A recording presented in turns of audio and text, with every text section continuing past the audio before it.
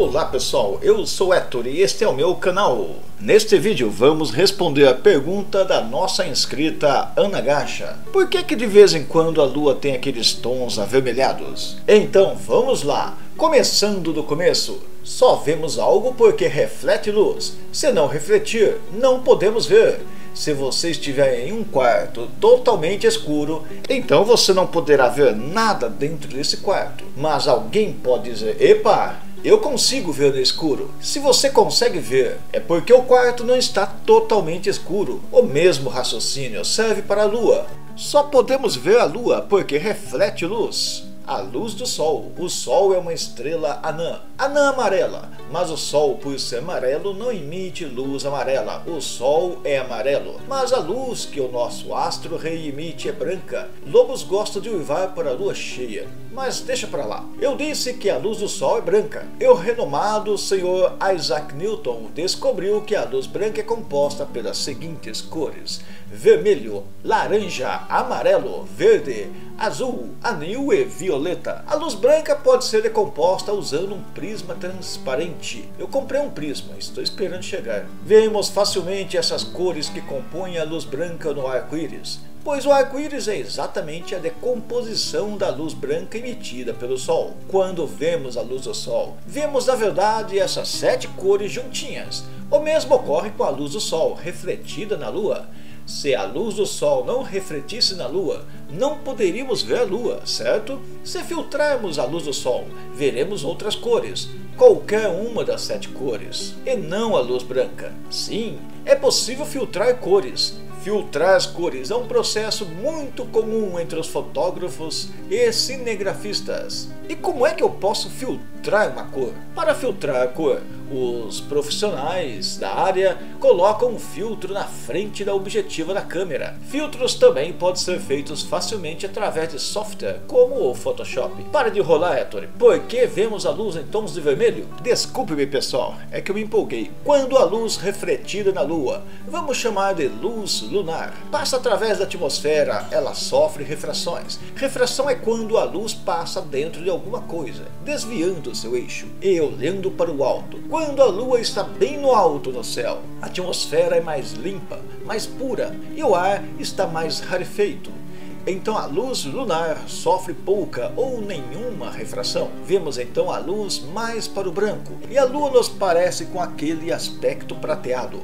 Mas quando a lua está nascendo ou se pondo, a luz lunar passa mais perto do horizonte, onde a atmosfera terrestre é mais poluída e mais concentrada. Então a luz lunar sofre mais refrações, ou seja, a luz lunar passa por dentro dessas poeiras, ou até mesmo desvia delas causando as refrações da luz. Essas refrações filtram a luz lunar, mudando a sua cor. Essa percepção de cores é relativa, pois ocorre devido à angulação do astro e observador. Observadores em diferentes posições na Terra perceberão cores diferentes do mesmo astro. As cores com maiores comprimentos de ondas conseguem atravessar os obstáculos encontrados na atmosfera terrestre com mais facilidade, enquanto as cores com comprimento de ondas menores são barradas.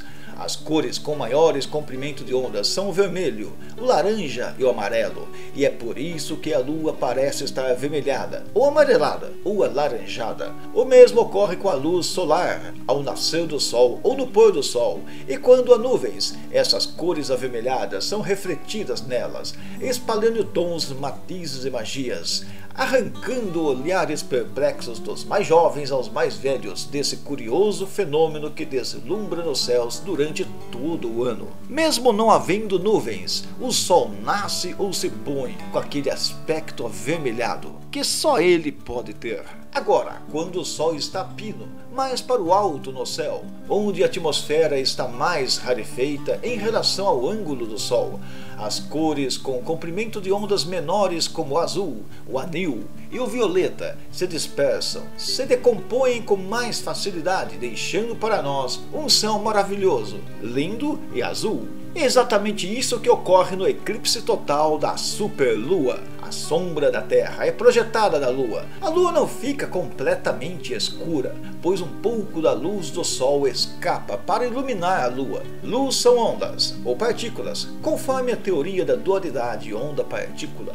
Essa luz que escapa também é filtrada, pois passa pela parte da atmosfera da Terra onde há muitas partículas de poeiras, filtrando a luz solar deixando passar as cores vermelha e ou laranja e ou amarelo. São essas três cores, ou alguma delas, ou ainda uma delas, que atravessam a atmosfera terrestre e são projetadas na Lua, nos parecendo que o nosso único satélite natural esteja avermelhado. O mesmo ocorre com as estrelas e os planetas quando estão nascendo ou se pondo. Embora, devido ao tamanho aparente desses objetos, seja mais difícil de perceber a mudança dessas tonalidades. Eu sou o Hector e esse foi o meu vídeo.